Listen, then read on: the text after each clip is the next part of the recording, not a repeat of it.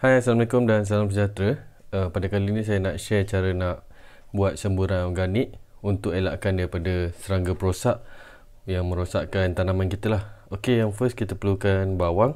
Saya guna dua, dua las bawang Dan juga bawang putih. Uh, Bawang putih ni banyak pun tak apa.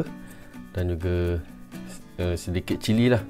Uh, Yang ni nanti kita akan blend. Guna juga uh, pencuci.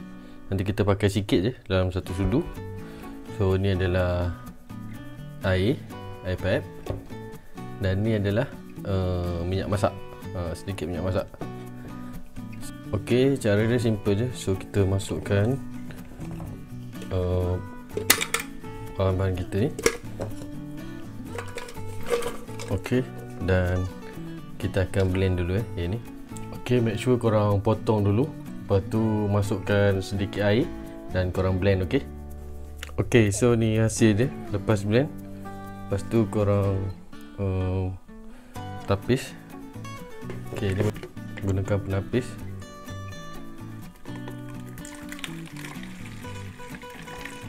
So kita nak air dia je lah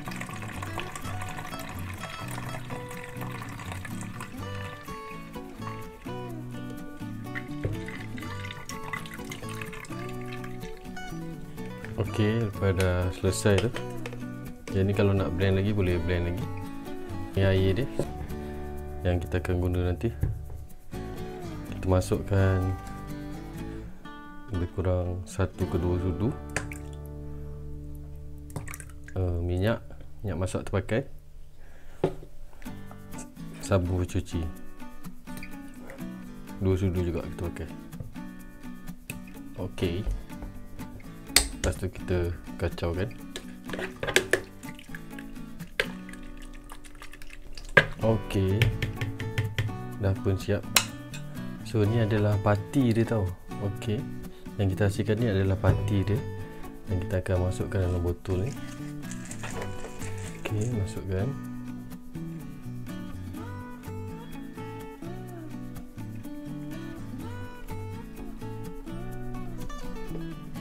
dan campurkan dengan air.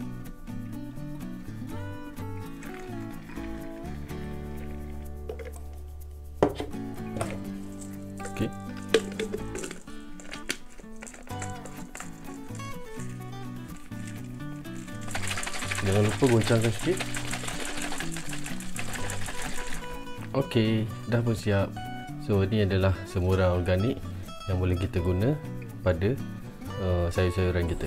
Ok saya demo sikit cara penggunaan dia. So kalau kita tengok daun dia ni dah banyak dimakan ulat. So kita just uh, spray organik yang kita buat tadi. Kita just spray je. Uh, 3 ke 5 semburan. Ok selamat mencuba